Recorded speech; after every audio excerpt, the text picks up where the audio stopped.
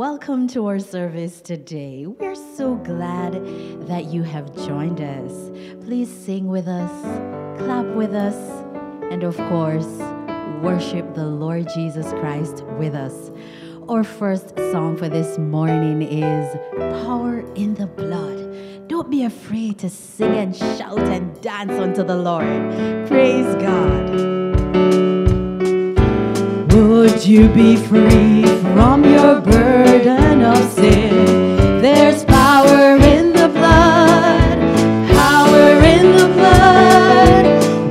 you are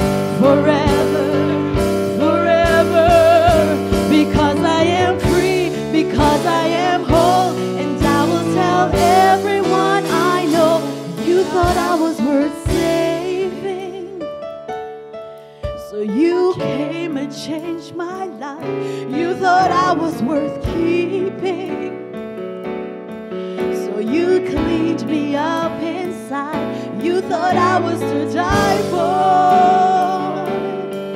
So you sacrificed your life so I could be free, so I could be whole, so I can tell everyone I know. Hallelujah.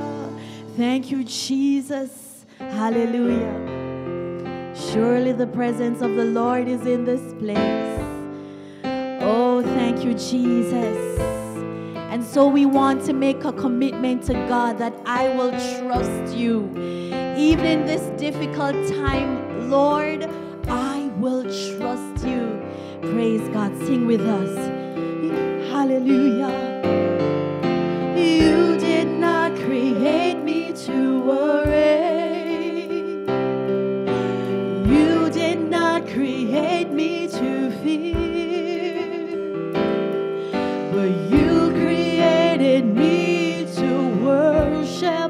day.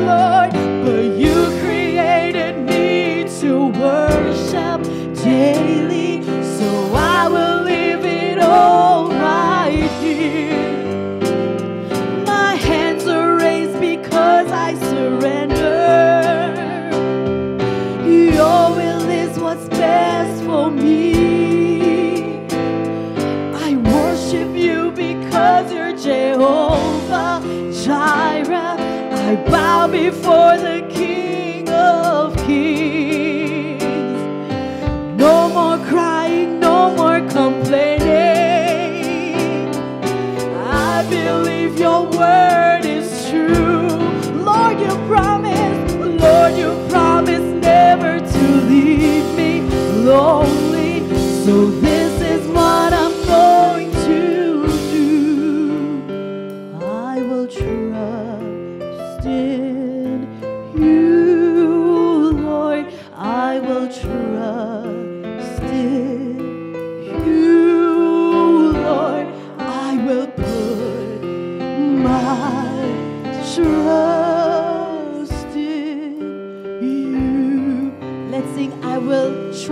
Lord, one last time. Oh, I will trust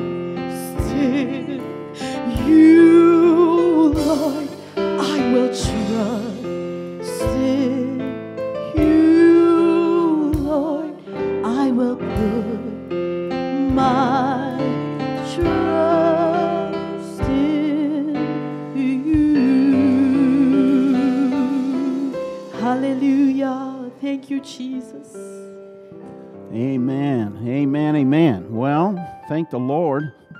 Amen. It's good to focus on the Lord Jesus Christ in the middle of this time. Amen. I, I want to read a couple verses of Scripture and then we're going to move forward. And I, I do want to say uh, it's great to be in church today, and um, I know that wherever you are and whatever you're observing, um, I know that you've been blessed. Just, just in this time of worship, you can feel the presence of the Lord, sense the presence of the Lord, and certainly our focus needs to turn to the Lord. Um, if you would be at the church today, what you would see is an interesting sight because the pews are gone. Um, behind us, there is a congregation actually, and I said we'll get something on social media. I don't know if we might be able to get it on video here a little bit, but there's we've got stuffed animals that are sitting in pews or in temporary chairs that are out here. So there's actually a congregation. We've got the Kemmer family that's here. They're working today. Um, but we do appreciate all the effort that was made. And then there's a wonderful sign back there that says, We love our pastor. And that's exciting to me. That's being held by the pink monkey, I think, but it's really uh, great, amen, to be in church on a Sunday morning. So I, I've told you a couple times don't worry, there's nobody sitting in your seat today, okay? Um, it's being saved for you. Now, we don't know how long. We'll have to wait till we get back to church. But our celebration day is coming, and, uh, and good things are happening. Um, even while you're gone, the church is moving forward in, in a lot of wonderful ways, in physical ways, but then in spiritual ways as well. Let's focus on Philippians, the second chapter, verse number 19. We just read a, um, we just sang a little song, I'll Put My Trust in You. In um, Philippians 2, verse 19, the Apostle Paul starts out with this words. He says, But I trust in the Lord Jesus. And then he said to send Timothy shortly to you. And also he said, Be of good comfort. I'll be of good comfort when I know your state, because I have no one like Timothy, like minded like him, who will naturally care for your state.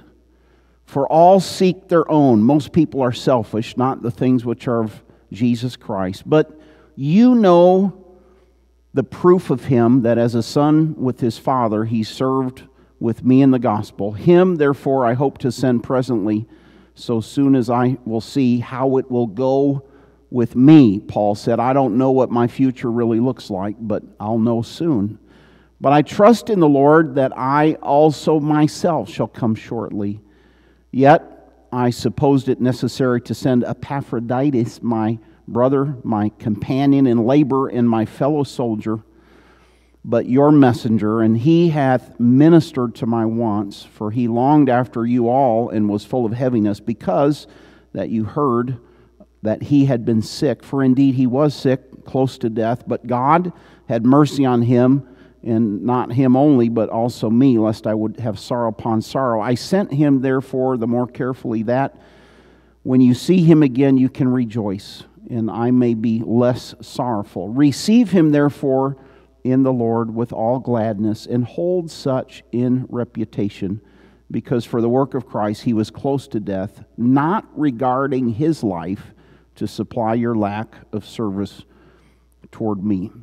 And, um, and I, I want to spend a little bit of time on this topic today. I want to talk about facing the future. And you probably remember we're, we're on a, a series, really on a little journey that we're calling Facing an Uncertain Future. But today, I want to talk about facing the future with friends.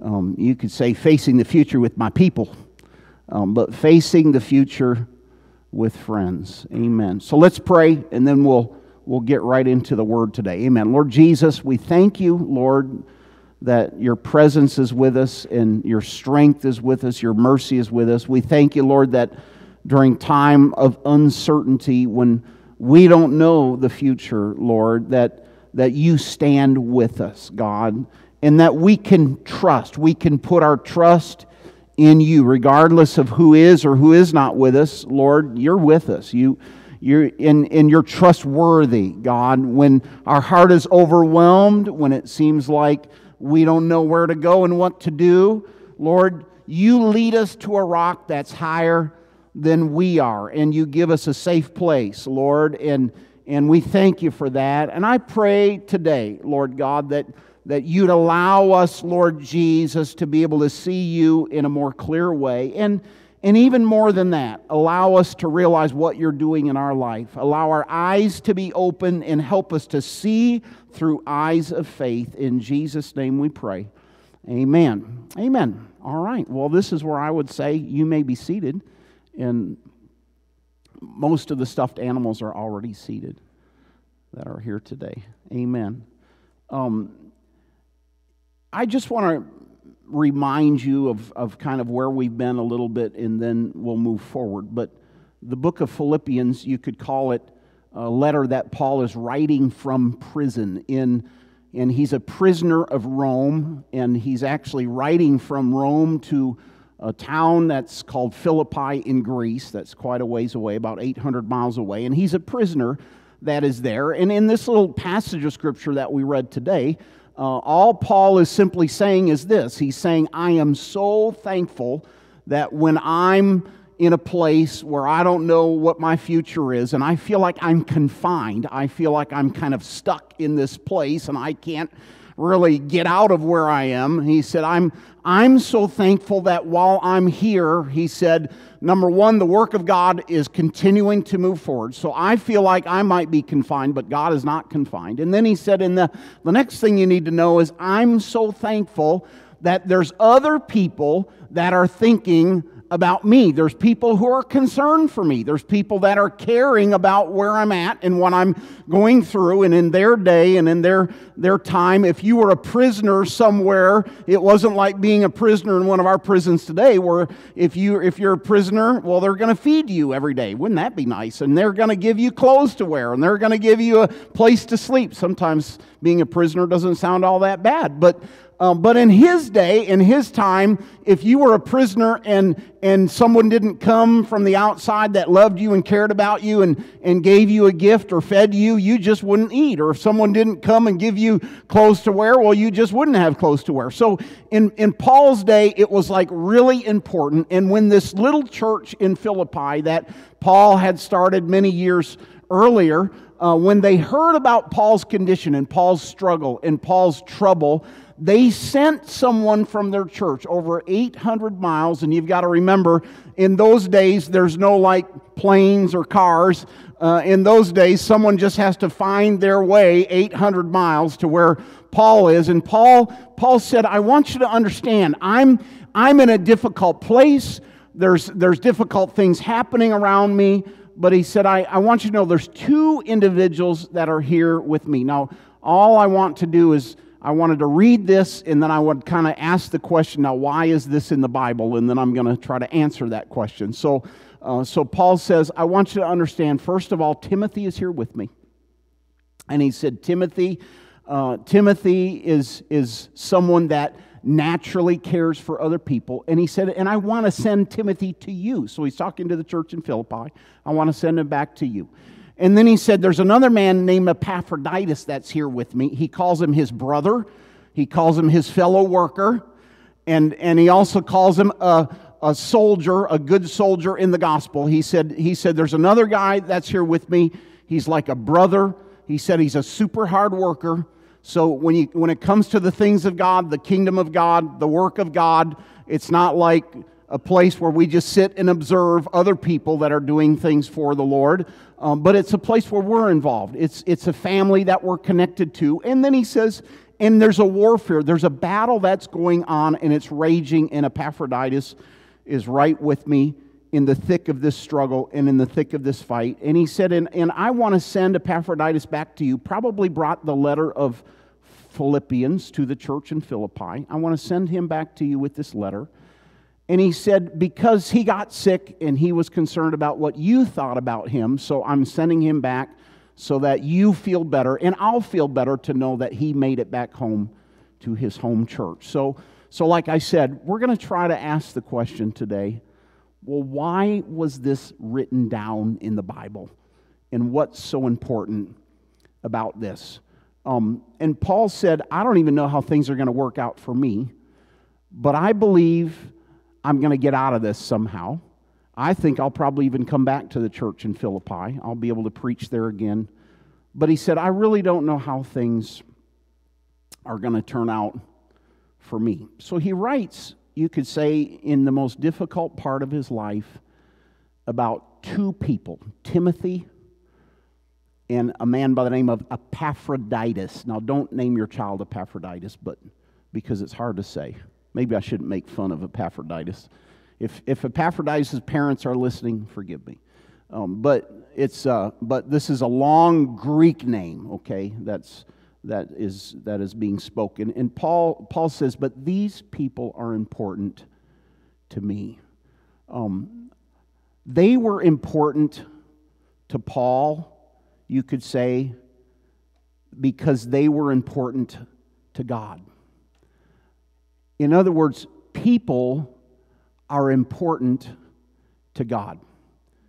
The church is not just what you see in a building, and I'm thrilled for what's happening in our building. Um, by the way, this upcoming week, we're going to get new grass on our on, on our yard out here. So hopefully by the time you come back to church, it'll look green. It won't just look dirty. Um, so not only aren't we driving in dirt anymore, but we won't have to walk in dirt anymore. Thank God. Um, it'll be wonderful. When you come back, I'm sure probably by that time there'll be new carpet. There'll be some wonderful things that you can see. And there's been a lot of work that has been done since you've been gone. Even today, there's painting going on, there's there's, uh, there's concrete that's being poured. There's lots of things happening outside of the parking lot and so forth. But here's what you need to know that's really not what's important to God. What's important to God is not the carpet. What's important to God is not the concrete.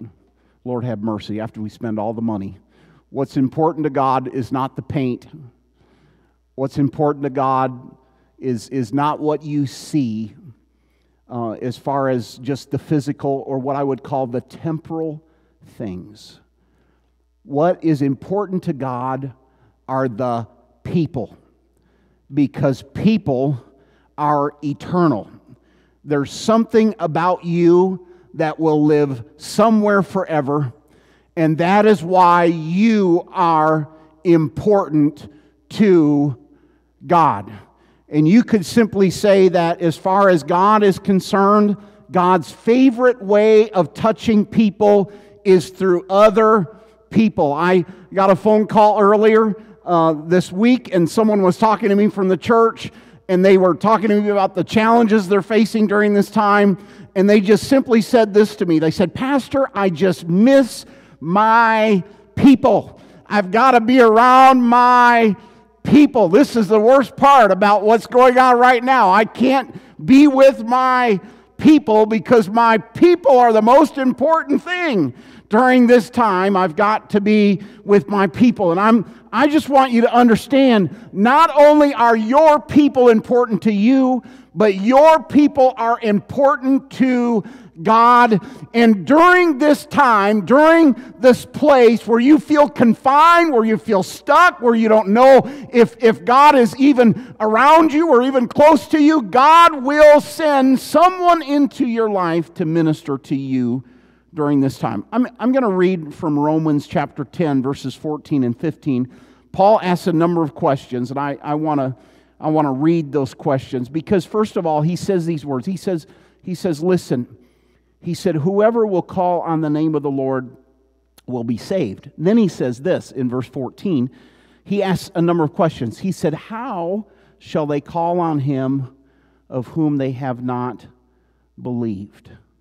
how are they going to call on someone that they don't believe? And how will they believe on him of whom they have not heard?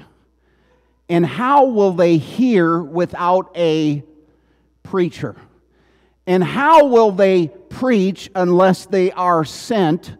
And as is written, he said, How beautiful are the feet of them that preach the gospel of peace and bring glad tidings of good things. He said, I, I want you to understand if God is going to touch your life, He's going to use someone that has feet to touch your life. He's not going to send an angel with wings to fly to you to touch you. God's favorite way of touching people is through other people. God is going to touch someone who will touch you. There's no such thing as someone that just ends up in the church and just says, Well, it's just that found me, and I'm just here just because Jesus found me. No, God found someone and sent that person to you. Somebody prayed for you, somebody reached out to you, somebody loved you. Someone did that. That's how this happens. God will use a parent that prays. God will use a friend that loves. God will use a mentor that will grow you and help you to learn things in the Lord. But God's favorite way of touching people is through other people. In a world, you could say, that's full of brokenness, trouble, and turmoil, God still has people in this world. And you could say, when their influence comes across your life, that influence will linger long and it will not easily be forgotten because their faith will influence your faith. Their courage for the Lord will influence your courage for the Lord. Their example of faithfulness and what God has done inside of them will somehow rub off on you. It'll be transferred into your life. And so you could say, in this kind of a world, there are people that God places here for such a time as this. Amen. Philippians, the second chapter, Paul talks about some of these people. Um, and he, and he, he, he says, I want you to understand there's a man by the name of Timothy. He records um, the fact that I have no man like him. This is Philippians 2:20 that is like-minded who will naturally care for your state.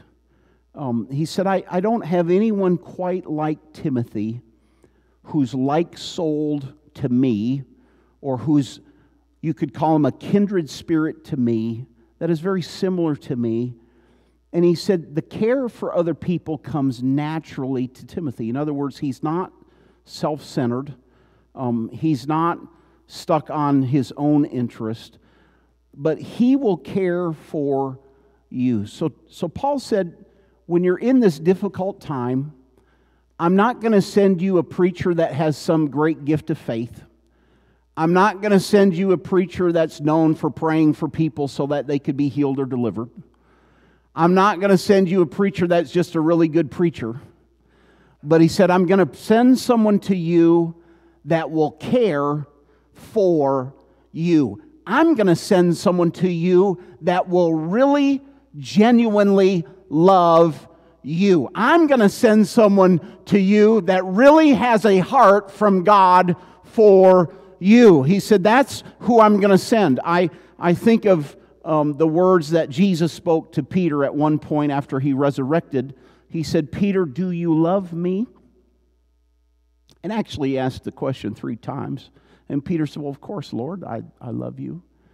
He said, Well, then I want you to feed my sheep. In other words, if you really love me, you're going to love what I love.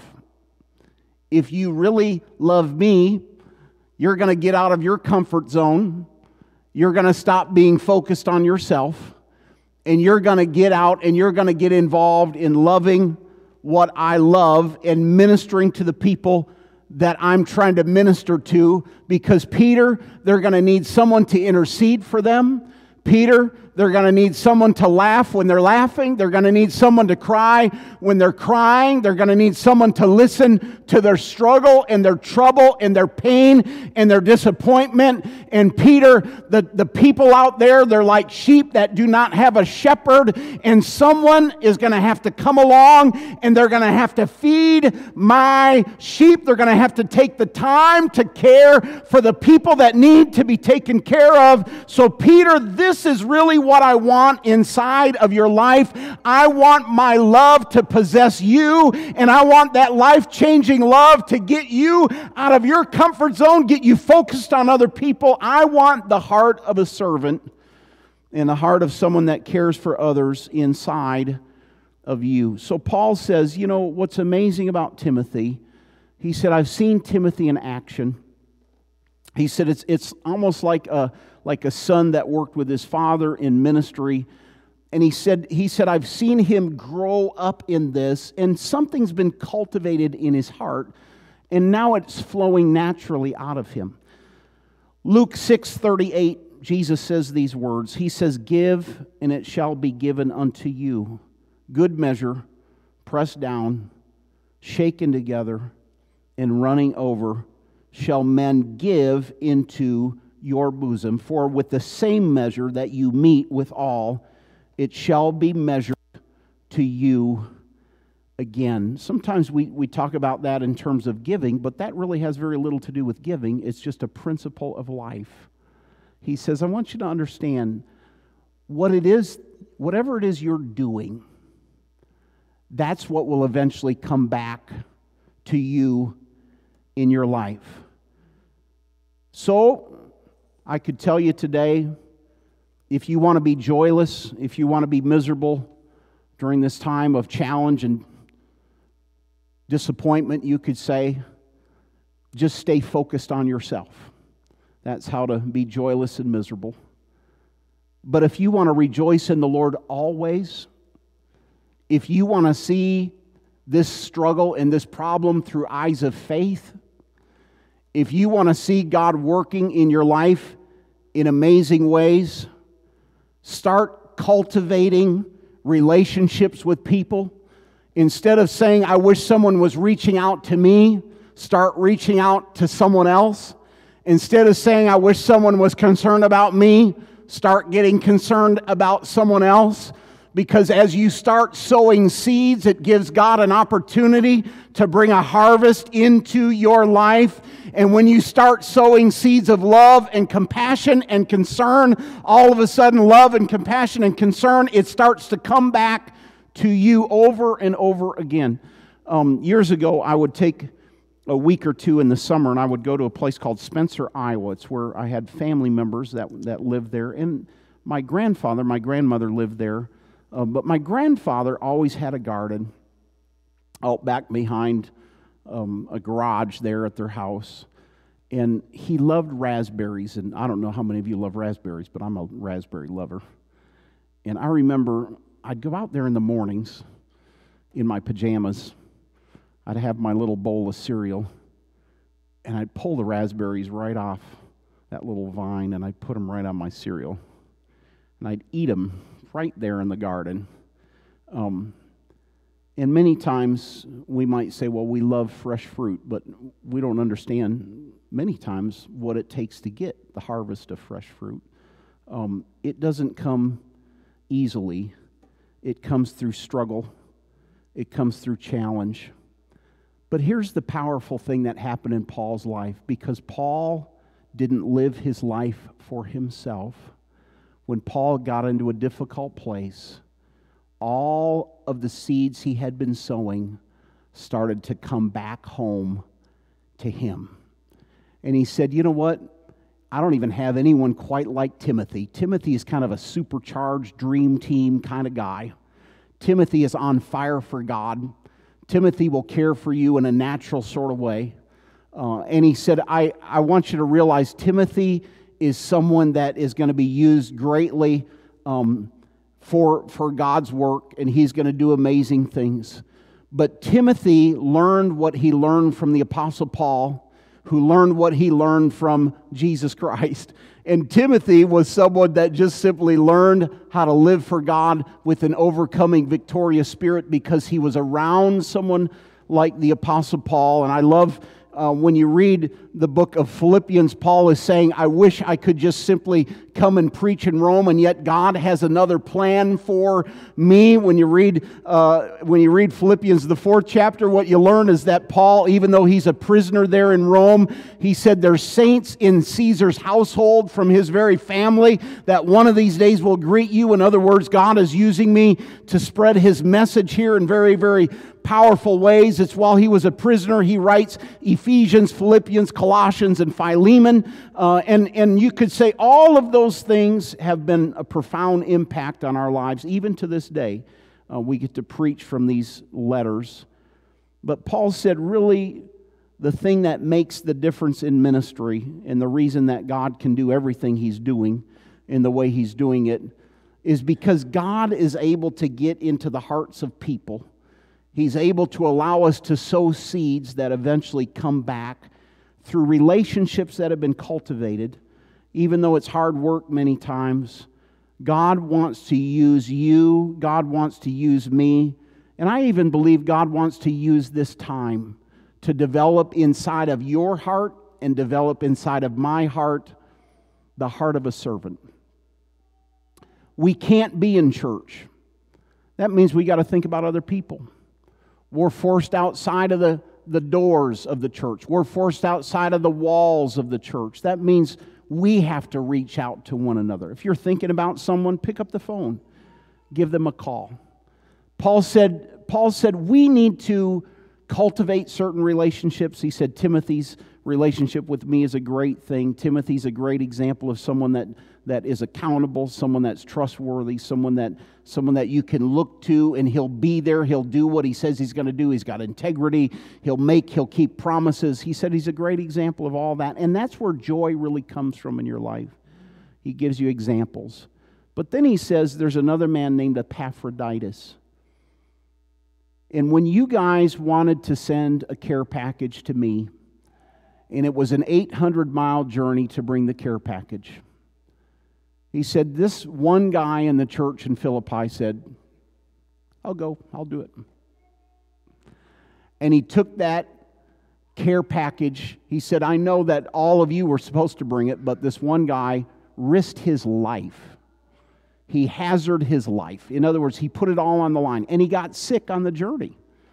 We don't know what he got. Some say it was some Roman fever that he got, some contagious thing in, in Rome. We don't know what it was, but he almost died in the process of bringing this gift to Paul. And Paul said, I, I, I was so thankful he didn't because it would have hurt me probably more than it would have hurt you. But when you heard he was sick, he was concerned that you heard he was sick. He wasn't concerned for himself, he was concerned that the people at home would be fearful that he was about to die. So he wanted to come back to you. So I sent him back to you with this letter. So Epaphroditus came back with the letter and he said, You know what? You should hold that kind of person in high regard because they took a risk on you. Literally, it's a gambling term, which are, probably is not used very much in Scripture, but he said he literally threw his life next to mine. Even though I was here as a state prisoner, and, and it could have looked bad for him because he came to associate with me. He came and he stood next to me, anyways, even though he risked his life in the process of standing next to me. And you could say, a lot of times when we reach out to people, um, Sometimes other people look at a minister or look at people who are ministering to others, ministering to others, and they say, That's foolish. You shouldn't spend your time, your energy, your effort reaching out to a person like that. I don't know why you would put that kind of that kind of energy into because that's just a waste of your time or maybe that's just a big risk. You know, every time you try to reach out to someone, you put yourself at risk. Um, what will they think? Will they be concerned? Will they really care? Um, and yet, and yet, he said Epaphroditus did all of those things for me. He put himself at risk for me. And, and he really reached out in my direction when no one else was really there. He was there for me. So here's what I came to tell you today. Number one, there's, there's people that God will send into your life during this time. There's people like Timothy, and the Bible says we should cultivate those relationships. So work on cultivating a relationship. He said there's people like Epaphroditus that will come into your life. They'll take a risk. They'll literally put their life on the line to reach out to you. And he said you should respect those types of people. Um, and so, so you should certainly be involved in that type of a ministry yourself, or you should be receiving that type of a ministry. You might say, Well, Pastor, how does that happen? You take the first step. You pray for somebody. You pick up the phone and text somebody you call somebody, you get involved in that sort of a thing. And then God will bring it back to you. But here's what I want you to see Paul said, When my back's against the wall, when I don't know where to go, when I don't know what to do, he said, God is sending people into my life to bless me. And I can face whatever it is I have to face because God is going to send me people. I'm not in this by myself. He called Epaphroditus a fellow soldier. Someone else is in the fight with me. They're going to pray for me. They're going to be there with me. They're going to help me. But in verse 19, the first verse that I read, he said, But I put my trust in the Lord Jesus Christ. Um, Timothy will eventually leave me. Epaphroditus, he's going to come back to Philippi with this letter. But I'm going to still have Jesus when it's all said and done. And you could say that really, in the fabric of these scriptures, as you read through them, Paul is saying, yes, Timothy is wonderful. You probably remember uh, when we talked about having victory in our mind, and he was, he was he said in, in Philippians, the second chapter, he said, You know what? We've got to surrender ourselves. As we surrender to the Lord, God is able to give us victory in our mind, victory in our spirit. And then he went on to say, God's given me this kind of victory. And then he went on to say, God's given Timothy and Epaphroditus this kind of victory. It's awesome what God did in their lives. But in the end of it all, Paul was simply saying, You know what? Even when no one else is there surrounding me, there's still one more relationship that will always be there. And he said, My trust in the end of it all is in Jesus Christ. I, there's a little song we used to sing, and it says these words it says, Standing somewhere in the shadows, you'll find Jesus. He's the only one who cares and understands. Standing somewhere in the shadows, you will find him and you'll know him by the nail prints in his hands. You know, during the time that we're living in, you face a range of emotions. Um, I don't know how many of you see the news. I don't know that we should spend too much time looking at the news. But usually they feast on every negative thing that's out there. Um,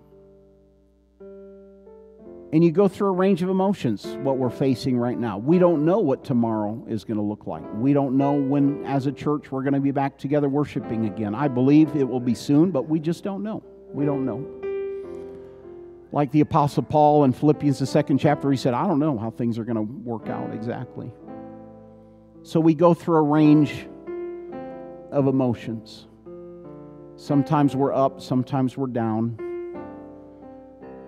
But the one thing we do know is we can put our trust in the Lord. The psalmist said, When my heart is overwhelmed, lead me to the rock that is higher than I am. And I just I want to spend just a little time just singing this song and then we're going to pray a prayer together.